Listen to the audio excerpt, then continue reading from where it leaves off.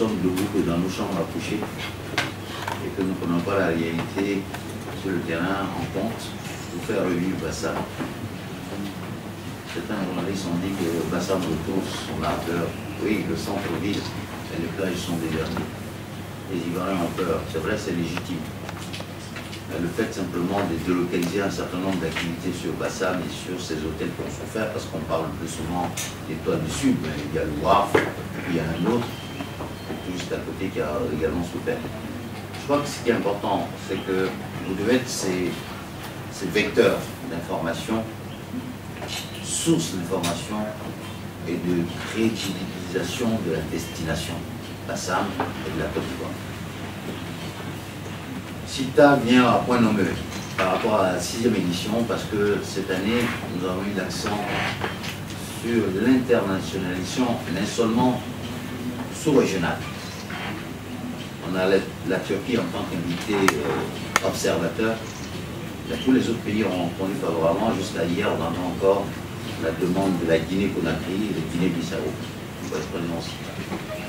47 ministres plus le secrétaire général de l'OMT qui doit ouvrir, inaugurer le salon du tourisme d'Abidjan, waouh Moi j'ai dit waouh c'est pas ce que vous, allez dire. C'est pas ce que vous allez dire. Informations rapides sur le déroulement du salon et puis ce que nous avons essayé de mettre en place cette année pour vous faciliter un petit peu la tâche.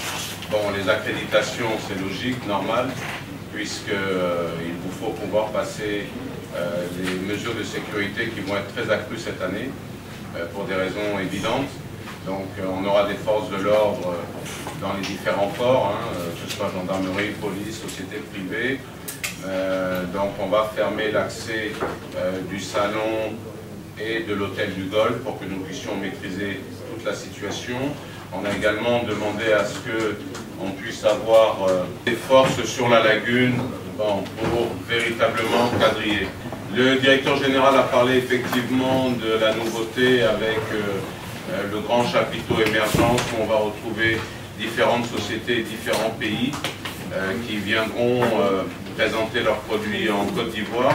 Il y a un point important sur lequel je voudrais insister, c'est euh, le fait que nous ayons euh, sur euh, le salon des sociétés privées qui vendent du matériel dans différents domaines qui gravitent autour du tourisme.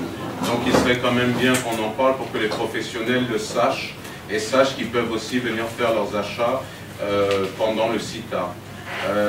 cette année également, 12 régions de la Côte d'Ivoire seront présentes pour venir développer, venir présenter tous les aspects touristiques alors, on a mis en place cette année, comme le directeur général une fois encore l'a dit, une salle de presse. Euh, personne n'aura accès à cette salle. Donc il faudra vraiment avoir votre badge, même parce que là aussi, on bloquera pour que voilà, vous puissiez travailler dans de bonnes conditions et qu'on ne soit pas envahi. L'objectif, et je finirai avec ça, c'est de mettre également Bassam à l'honneur. Euh, nous, à notre niveau, on a mis en place aussi toute une stratégie. Toute l'équipe de communication sera dans les chambres du golf pour pouvoir être très réactif. On a vraiment besoin de votre appui pour continuer à donner la valorisation du CITA. Alors on va découvrir le tourisme, mais on a pensé aux enfants. Il y a également toutes les conférences qui tournent autour du tourisme. Donc là, je vais les laisser rentrer dans le détail pour vous donner plus précisément euh, le, programme du CITA.